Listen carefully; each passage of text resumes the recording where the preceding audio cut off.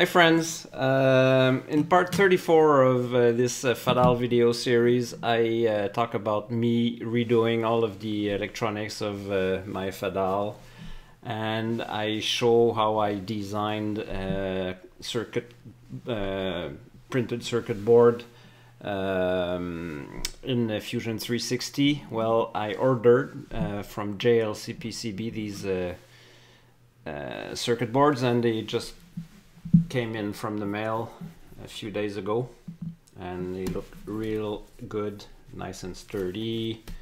Um, and this is this here is the the motherboard.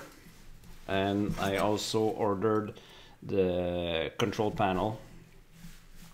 Uh, this one goes into the, the well the control panel where there's the MPG and all the buttons and knobs and the monitor so uh, this guy uh, is in there and the motherboard will be in the main uh, junction box. And also I sourced all of the parts and um, but these aren't uh, soldered yet so uh, I'm going to use this uh, PCB as a rack for all the parts and I'm gonna pick them in there and solder them on on uh, on this board and same uh, for the the control panel here.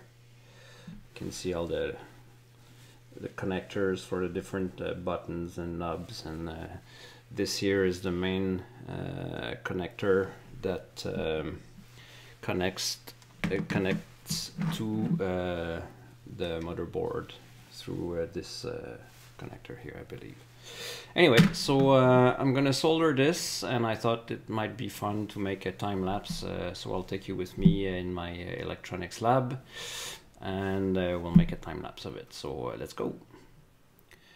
Having an extra PCB as a tray for your parts is uh, very nice. It's super efficient.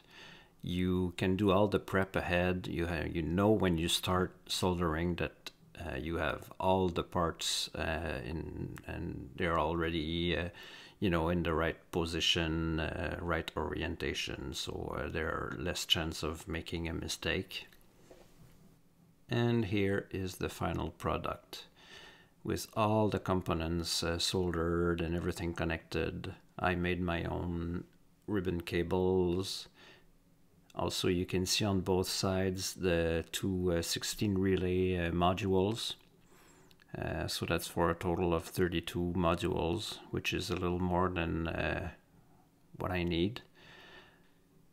This is for sure the most complex electronics project I've ever made. Um, I am very proud of it but at the same time I am scared shitless of connecting it. I'm super scared that uh, the white smoke is going to uh, come out from the control.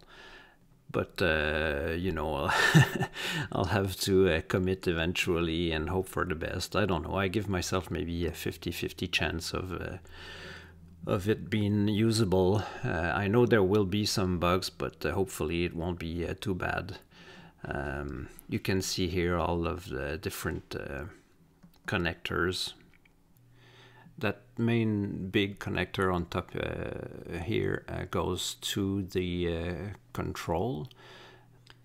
You can see uh, me here um, soldering all the components on that uh, smaller PCB. so this uh, PCB that goes into control really is connected to the motherboard via one uh, large uh, cable. And uh, here is the final product.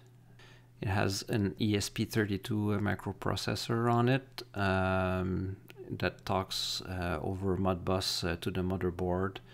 It's going to control the LEDs of, the, of some of the buttons and other stuff and these are all the connectors uh, you can see here uh, that will connect to all of the buttons and knobs.